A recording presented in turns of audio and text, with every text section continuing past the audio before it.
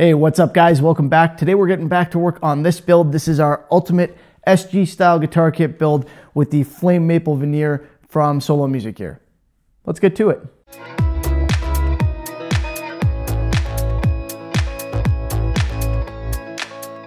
So this is a beautiful kit. If you haven't seen the prior video on this one, we unboxed it. We took a look at all the upgrade hardware that I'm gonna be putting into it. This is a commission job for someone and they let me pick all the hardware essentially. So yeah, full responsibility on me.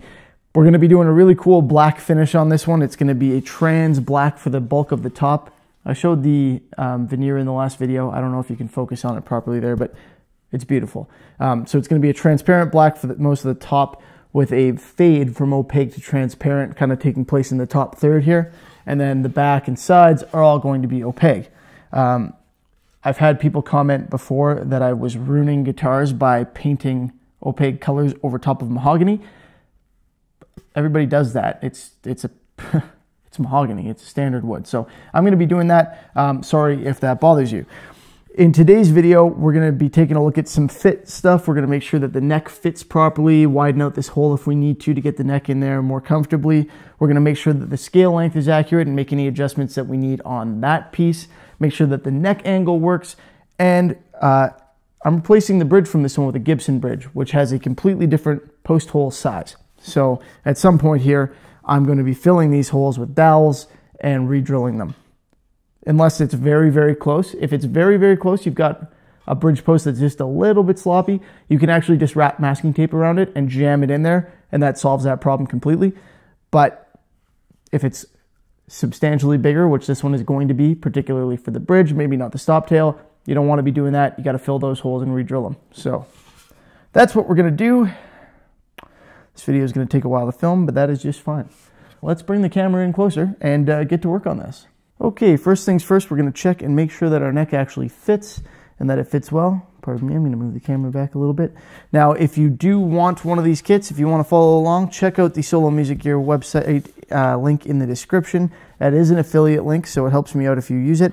Um, I want to note though that with Gibson's recent, whatever you want to call it, uh, some of the shapes now are going to be probably a little different. I don't know if they've changed them yet or even if they're going to, but I get the, the feeling that some of these guitar kit shapes from Solo and from other kit builders are going to shift a little bit. So you might see something that looks a little bit more like a, an ESP Viper, for example, a little bit of a lopsided version. Let's take a look at this neck fit. And that is too tight. I could hammer that in there if I wanted to without damaging it. But as soon as you get glue on these things, they tend to swell a little bit. So you don't want to be, you want a nice snug fit, but you don't want it too snug. So if we look, yeah, I can get that in there. It's nice and tight, but I think I probably need to loosen that just a little bit by taking a, you know, a millimeter or so off the edge. Before I do that though, I'm going to check my bridge fit so that I can check my scale length. So I'm going to get this Gibson bridge uh, unwrapped here. I got the, I'm going to use a knife. I got the Gibson bridge and stop tail as upgrade hardware. Now the bridges that come with these kits actually aren't bad. Uh, I don't mind them at all. And you can obviously go with other aftermarket stuff, but we're going for a specific kind of look on this guy and a specific kind of feel. So I figured we're going to go back to the Gibson style bridge, the more old school unit. And you can tell just by looking at this, this is not even not even close to the same size, which is fine. That's not a problem at all. But we will have to, like I said, put something in there to get that to work. No. Real smooth there, bud. Okay. So that's that. Now, we take a ruler, a meter stick, and check what our lengths are. So we, in order to check the scale length here, I'm sure everybody knows this, we want to make sure that the distance from our nut to our 12th fret is the same as the distance from the 12th fret to the bridge, or at least close enough to be within the adjustment capabilities of these nuts, which have, you know, almost half an inch, probably three eighths of an inch of adjustability. So we're 12 and 3 eighths there. And 12 and 3 eighths here. Nailed it. Okay. So what that tells us, sorry, let me put this down, is that we don't have to take any meat off the end of this heel to be able to shove the neck in further, and we don't have to shim anything or whatever to bump it back out. It is set correctly with this pushing right up against the base of the hole here. This is the tongue that comes out the bottom of the neck. We jam that right in. That's set perfectly. Again, this is pretty snug, but it's actually got a little bit of play right at the back, obviously. It kind of, where it pinches here is where it hinges. Makes total sense, right?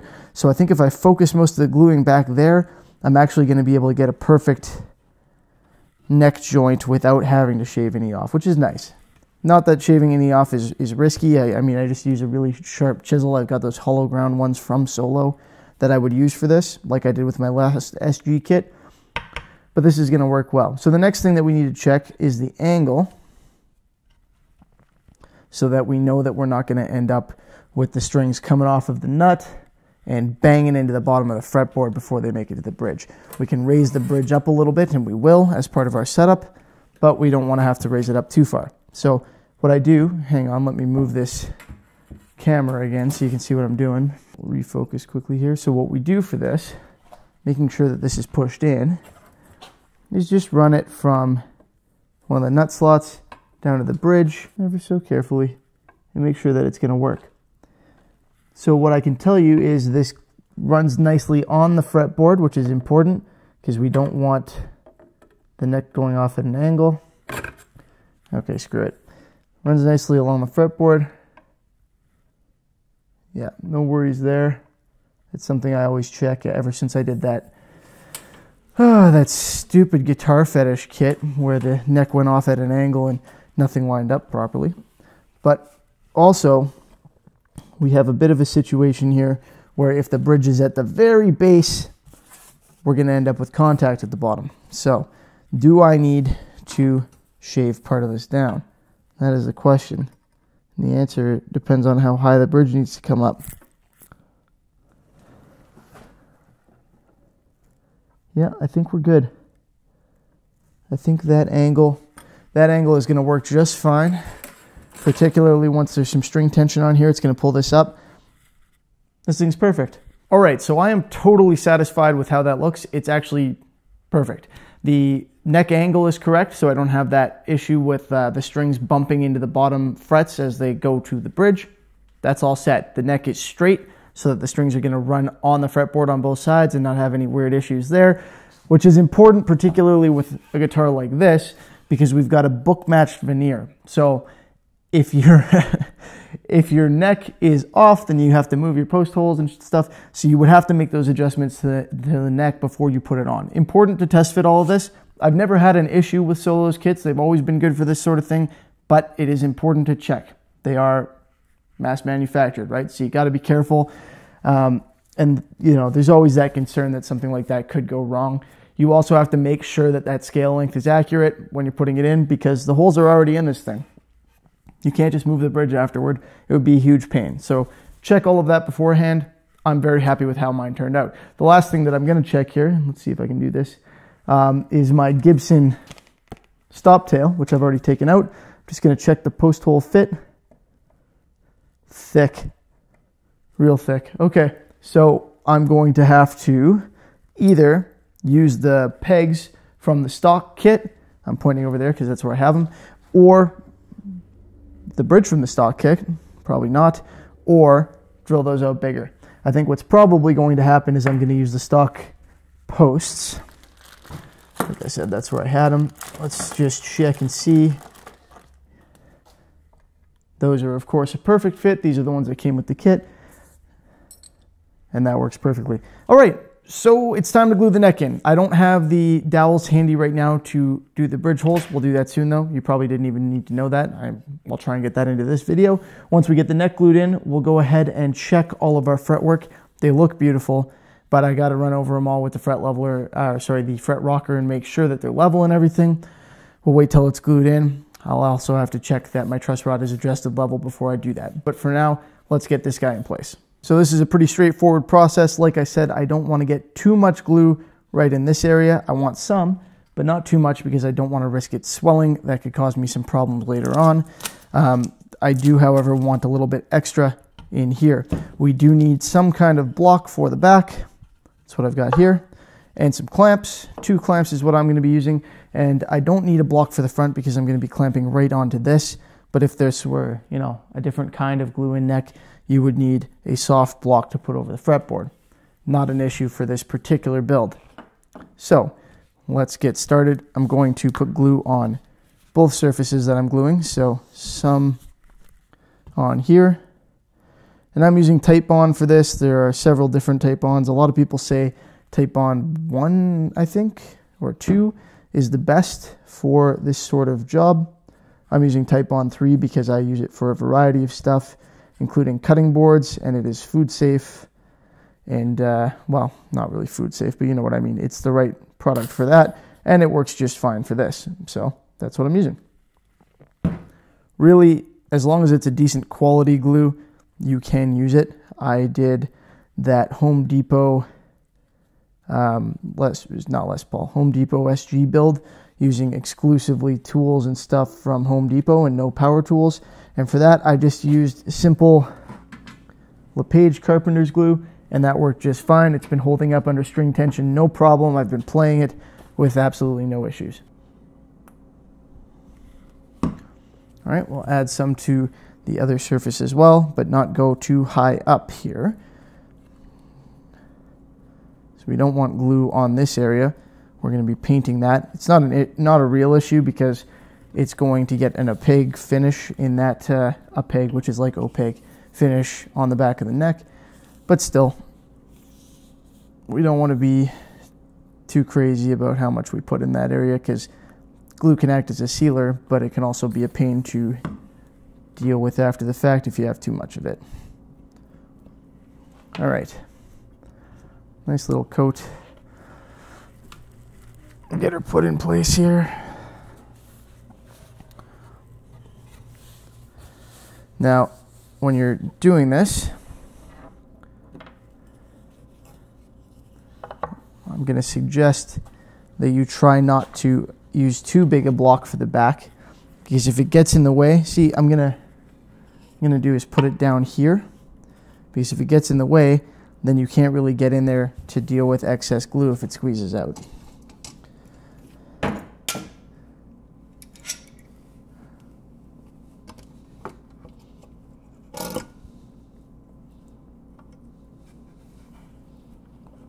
All right. Get one side clamped in here.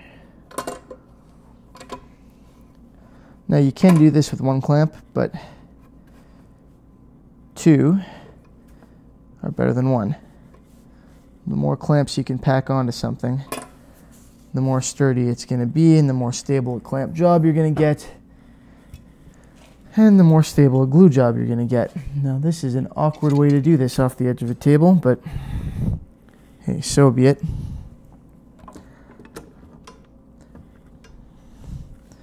Just make sure you're not accidentally crushing your frets on the corner there. Okay, that's it. We'll do a check for excess glue squeeze out. Very, very minimal. Use a damp cloth to wipe it away if there's too much, if there's anything worth wiping away there. I'm going to toss this guy into my Hosco neck rest from none other than Solo Music Gear, of course. And I'm going to leave that for about 24 hours. All right. We'll be back to put those pegs in. We're back. It's been a couple days. We got this neck glued in place. It is looking very nice. Uh, nice and sturdy. Everything is as it should be. And we've also gotten our doweling to be able to plug those bridge holes. That's next up. We have to get that done before the finish. Uh, and if I'm not mistaken, the only other thing that we've gotten in that time is a haircut because I desperately needed one. So what we're going to do now is cut this guy down to a reasonably appropriate size to plug these holes. Uh, and then we're going to plug those holes. Let's get to it. I just quickly used a set of calipers to measure the depth of the holes and mark those depths out twice on my dowel here.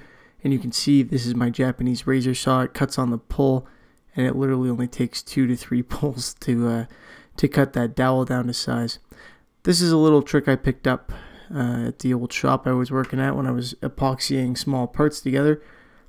To make a little tray for my glue, I just use a few pieces of masking tape, go ahead and squeeze my glue onto there, and then when I'm done I can just peel it off and the table stays clean. Uh, I'm just using my finger to apply it to the dowel, pretty straightforward, and then I'm going to press the dowel in place. And that's what I'm going to do for both of these.